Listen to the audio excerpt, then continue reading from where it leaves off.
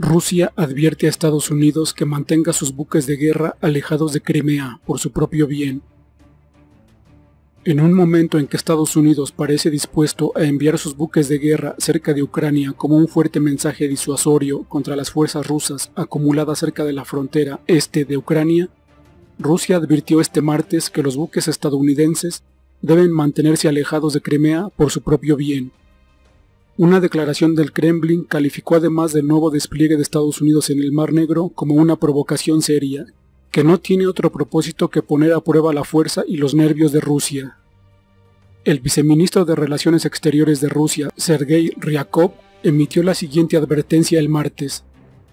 No hay absolutamente nada que los barcos estadounidenses puedan hacer cerca de nuestras costas.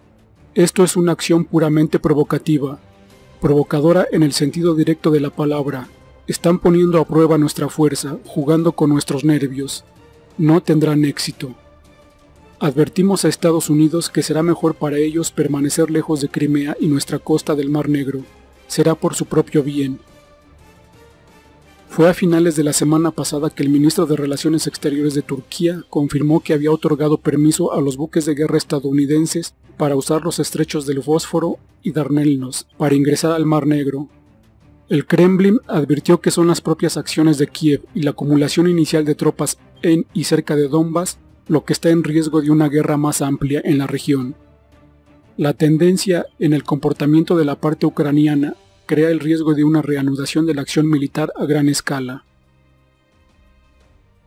Por su parte, Sorchafal, según sus fuentes rusas, en un artículo publicado hoy 13 de abril, menciona lo siguiente. El torpe de Biden activa el reloj de guerra ruso. La cuenta regresiva para el apocalipsis comienza el 15 de abril.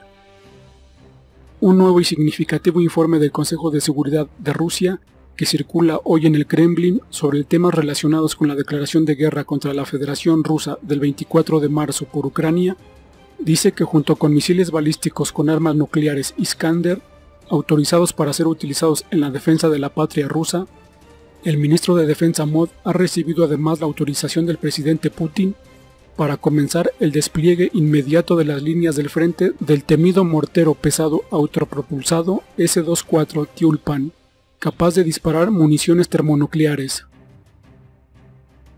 Verdad y hechos ignorados por el secretario de Estado de Biden, Anthony Blinken, quien habló por teléfono ayer con el secretario general de la OTAN, James Stoltenberg, para discutir la necesidad inmediata de que Rusia detenga su agresiva acumulación militar. Además también de decir que el presidente Biden fue muy claro en este tema, diciendo que si Rusia actúa de manera imprudente o agresiva habrá consecuencias. Provocaciones y amenazas de guerra estadounidenses al mismo tiempo que el Ministerio de Relaciones Exteriores, Sergei Lavrov, emitió una advertencia en la que decía Recomendamos encarecidamente a todas las naciones responsables con las que estamos en contacto, entre ellas Turquía, que analicen la situación de las interminables declaraciones militaristas por el régimen de Kiev. Les advertimos que no alimenten estos sentimientos militaristas. Una advertencia seguida inmediatamente por Rusia restringiendo el servicio aéreo con Turquía y que vio obligada a la viceministra Tatiana Golikova declarar Hemos tomado la decisión de restringir el servicio aéreo regular y fletado desde los aeropuertos internacionales rusos a los aeropuertos turcos y viceversa, desde el 15 de abril hasta el 1 de junio. Y aunque esta restricción de vuelo está sofocada en el lenguaje diplomático de la pandemia, el Ministerio de Defensa que lo ordenó muestra que un reloj de guerra comenzará a correr el 15 de abril, ya que este día exacto será en que dos buques de guerra estadounidenses ingresen al Mar Negro a través del estrecho del Bósforo. Al informar al pueblo estadounidense sobre este apocalipsis que se avecina, su principal periódico corporativo de renombre, el Wall Street Journal, acaba de publicar el artículo de opinión del Consejo Editorial, titulado Putin y las consecuencias, en el que afirma engañosamente, sin citar ninguna fuente, las ambiciones de Vladimir Putin no son claras, aunque algunos piensan que quiere controlar toda la costa del Mar Negro. Por otro lado, el excongresista estadounidense Tulsi Gabbard aparece en los últimos minutos del programa de noticias de televisión por cable más visto en los Estados Unidos, para advertir que se acerca la Tercera Guerra Mundial, para comenzar y acabar con millones de estadounidenses sin que se les permita siquiera saber por qué, y vieron esta advertencia sombría acompañada de artículos como Próxima parada, el apocalipsis, la afirmación de la fama de la administración Bumbling Biden puede estar impulsando la Tercera Guerra Mundial en la que afirma de hecho, el mundo se siente como un lugar mucho más peligroso desde que Joe Biden ingresó formalmente a la Casa Blanca el 20 de enero.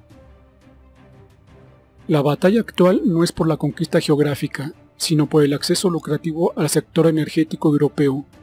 Washington se niega a quedarse de brazos cruzados mientras Moscú y Berlín dan los toques finales al gasoducto Nord Stream 2, que si se cumple hará que los suministros de gas natural fluyan de Rusia a Alemania, sin el intermediario ucraniano altamente impredecible a través del mar Báltico.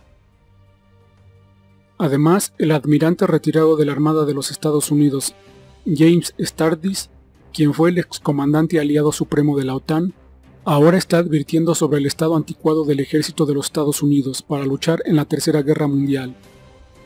¿A qué tan grave ha llevado la situación Biden? La ha llevado a ver como explica en artículos como Las armas de abril y la guerra global, que señalan sombríamente la guerra entre Rusia y Ucrania parece inminente. Israel e Irán están participando en altercados marítimos de ojo por ojo, y China está intensificando incursiones provocativas en los espacios aéreos y las aguas de Taiwán, Japón y Filipinas. Todo lo cual deja en claro por qué ahora aparecen artículos como China contra Rusia contra América es 2021, el año de 1984 de Orwell, que se hace realidad, donde se observa sombríamente. Lo que se está desarrollando ahora podría describirse como el cumplimiento final de la visión de pesadilla de George Orwell en su novela distópica.